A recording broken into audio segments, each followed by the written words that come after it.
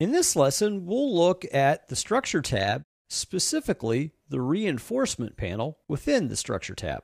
So within this course, the majority of what we'll do will be focused around the Structural tab and the commands within the Structural tab. Let's go to the Structural tab now on your ribbon. Now the area that we want to focus on on the Structural tab is the Reinforcement area. And there's a variety of different commands for creating reinforcement elements or components within your structural model. The first one is area. This allows you to sketch a boundary, and from within the boundary, we can populate rebar. To the left of area is the rebar command. This is where we can actually place our structural rebar within that predefined area. Below area is path. We can create a path to apply structural reinforcement, such as rebar. Below path is fabric area. This is where we can define a boundary or an area where we can populate with fabric sheets. To the right of these commands, one is fabric sheet. This basically allows us to place a fabric sheet on a surface, such as a floor, a wall, or a foundation slab. Below that is rebar cover.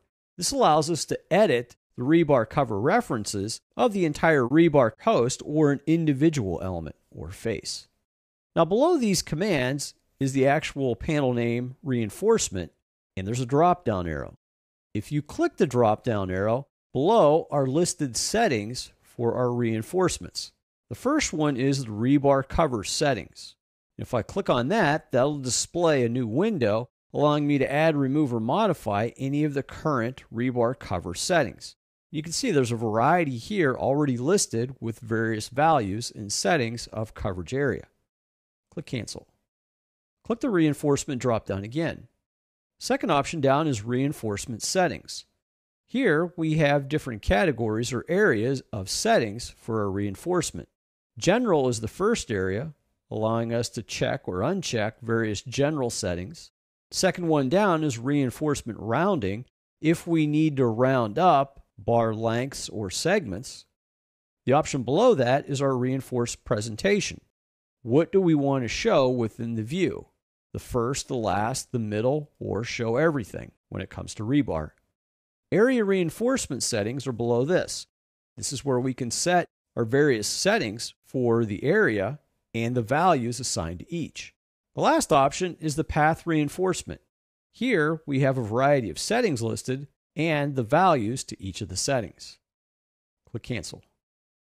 And the last option is reinforcement numbers basically allowing us to define these digits or numbers that we're going to use for a minimum value within our reinforcement layouts. Right now, there's only one. Click Cancel.